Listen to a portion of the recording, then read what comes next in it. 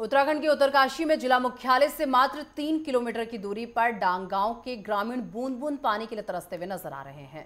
पानी की किल्लत से जूझ रहे हैं और ग्रामीण पिछले कई दिनों से पानी की मांग को लेकर धरना प्रदर्शन भी कर रहे हैं। ग्रामीणों का कहना है कि पानी की समस्या को लेकर ग्रामीण काफ़ी लंबे समय से परेशान है। उन्होंने कई उच्च अधिकारियों को ज्ञापन सौंपकर अपनी समस्या भी रखी है, लेकिन किसी ने भी इस समस्या की ओर अपना ध्यान नहीं दिया है।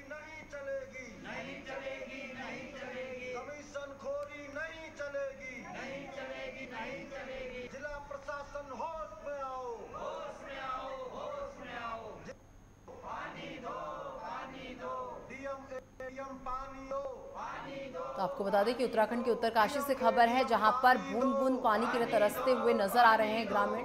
आपको बता दें कि पानी की मांग को लेकर ये धरना प्रदर्शन कर रहे हैं और लगातार उनका कहना भी है कि हमने कई बार उच्च अधिकारियों को इसे लेकर ज्ञापन भी सौंपा है, लेकिन किसी भी अधिकारी का ध्यान इस ओर नहीं गया है।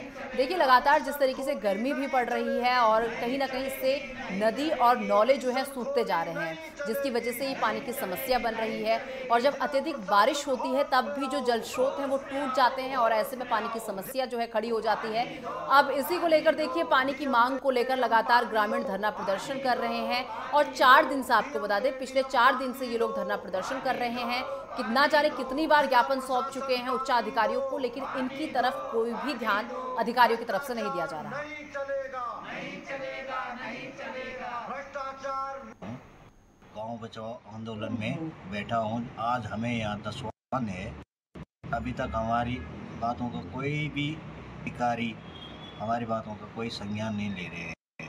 और मैं मीडिया की तरफ़ से जो कहना चाहता हूँ कि इन अधिकारियों पे अपना संजा चलाए और इस चीज़ को भावना दे कि जो हमारे यहाँ जो दस दिन से हम लोग यहाँ बैठे हैं अगल बगल के गाँव के लोग भी आ रहे हैं और अभी तो खाली एक ही गाँव का आंदोलन चल रहा है। ऐसा समय ना आए कि पूरे ज़िले का आंदोलन चले।